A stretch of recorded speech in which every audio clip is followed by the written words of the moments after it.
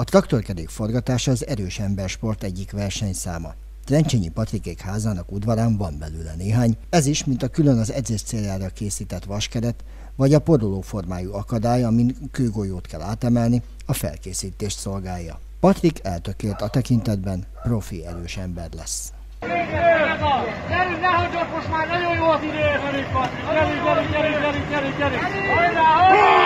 Gyerünk, gyerünk, gyerünk!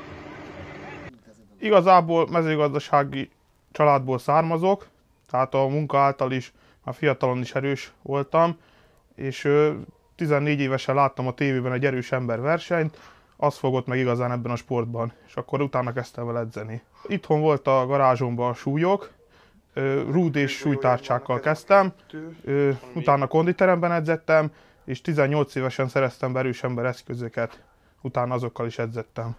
Három éve kezdtem versenyezni, eddig körülbelül 20 versenyen vettem részt. Az Erős Emberek Társasága szerte a világban egy különleges klub. A résztvevők igazából nagy barátságokat ápolnak egymással, miközben zajlik a virtuskodás. Aki erre adja a fejét, annak az egész életét, életmódját meghatározza ez a sport.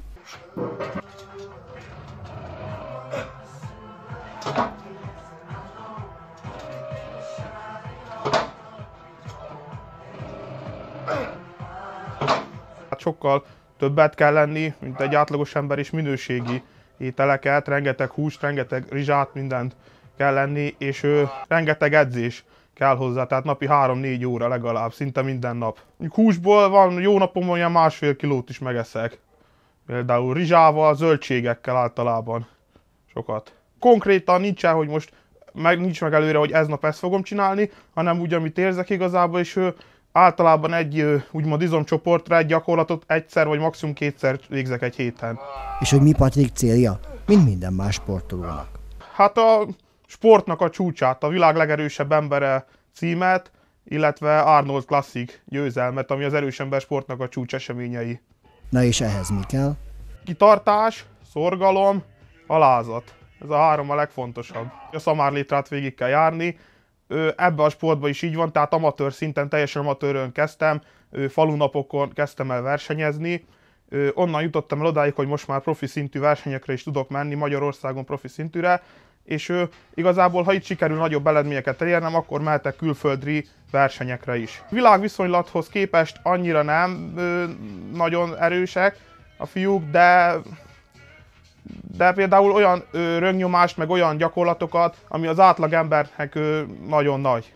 Tehát az átlag szinthez képest ö, nagyon erősek a fiúk, de világviszonylatban viszont annyira nem. Most állok ennek a küszöbén, hogy a, a profi szintben ugye be tudjak futni az amatőrből. Ö, igazából ugyanúgy edzek, mint előtte, de sokkal keményebben, sokkal intenzívebben és sokkal kitartóbban. Inkább Angliában és Amerikában lehetne ebben jobban érvényesülni. Irány Amerika, mondja Patrik, aki azt is elárulja, az igazi profik már hozzányúlnak mesterséges erősítőszerekhez. Azon a szinten már erre is szükség van. Ő egyenlőre még a normál étkezés mellett tette le a voksát, hiszen még csak 20 éves. A nagyok 30 körül érik el a csúcsot, ebből következően neki van még ideje.